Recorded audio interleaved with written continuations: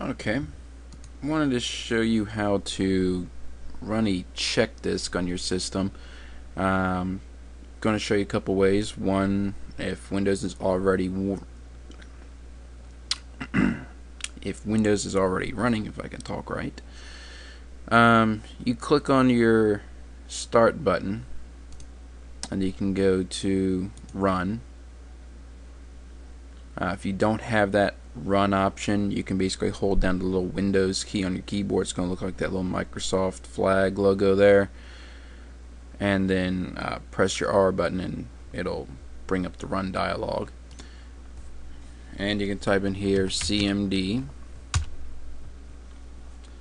And this will give you your command line. And you're going to see that the uh, C drive uh, is most likely going to be your operating system uh, everything on it, and it's probably what you're wanting to run a part um, check disk on.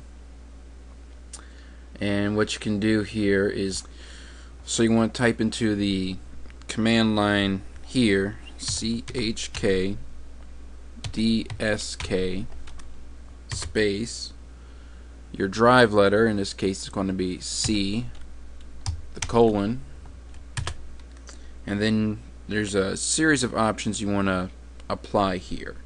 First you have slash F. Uh, that's going to go through and fix errors with the file system. If you run it without slash F, it runs in read-only mode, which will, you know, take 15 minutes or whatever to go through and basically tell you, hey, you have issues. You need to run it with slash F to fix them. So if you just want to see if you have issues and not actually let it fix it, you run it without the slash F. Okay, the next one is going to be slash R. This one's going to go through and actually test the blocks of the hard drive. Uh, with slash R, it will take much longer to actually run the disk check. Um, you're probably looking around 45 minutes to an hour, maybe more, depending on how big your hard drive is, how many files you got, all that stuff. And finally, because we're going to be checking the C drive, uh, which we do know is going to be in use, um, I like to specify the slash X option. And that basically forces a dismount of the drive but since you can't dismount the C drive it basically tells you hey it can't do this uh, would you like to schedule it up for your next restart?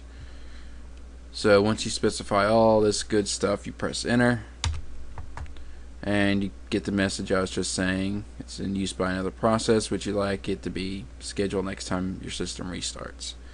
You'd say yes, press enter, and then restart your computer.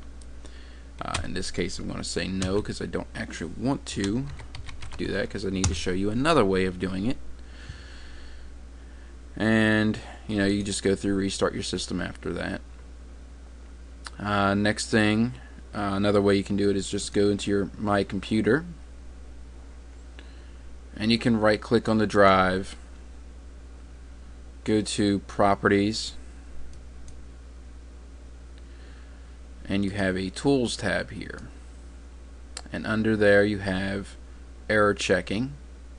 Hit Check Now.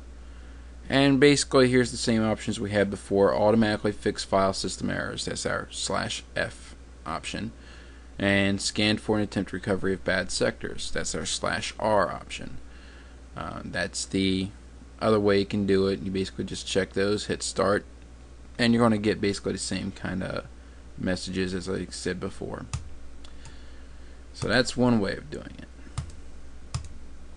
And now let's say your system doesn't start up anymore. Um, if you see my other video on uh, why Windows might go through and get stuck in a reboot loop.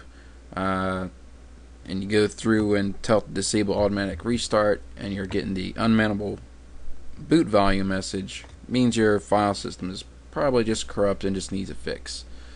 Uh, so, what you want to do is use something like the Ultimate Boot CD, which I'm going to go ahead and mount using my uh, VMware workstation. I'm going to use a physical ISO file. And we're going to go to E drive, and we're going to go to here. Okay. And basically, what I'm doing is equivalent of putting in the Ultimate Boot CD